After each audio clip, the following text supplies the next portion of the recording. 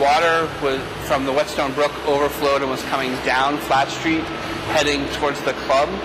Um, and as it got to the Boys and Girls Club, it came under the doors and into the building. And by the time I left the building, there was a decent amount of water in the building and more coming.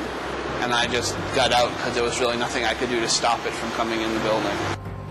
But the rain just was coming down, and you could watch the waters just coming up by the foot, not by the inch. We opened our emergency operations center in the center part of Shrewsbury. We also opened up the shelter down here closer. There we had two shelters open.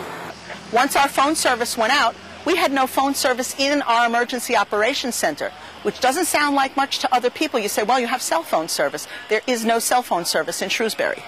Well, the road is closed because uh, major areas of the road have washed out. The river has backed out of its banks and come over Route 5 and running into the businesses in the area. We have Route 5 shut down. Um, we put the incident command system in place. We utilize that here in town.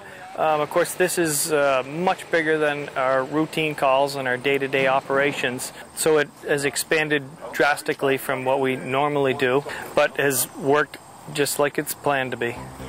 Uh, within an hour and a half, two hours, I had 18 inches of water coming through my front yard and under my home. My sister was refused to evacuate, which I couldn't convince her, and neither could the fire department.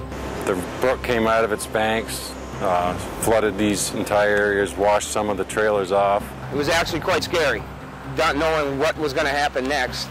Uh, right now we're going around and doing an assessment of the area to see what's safe and what isn't. Once I made the commitment to stay, I couldn't get out of the park. So if you're asked to go, you better think twice before you say no, because you can get stuck like I did.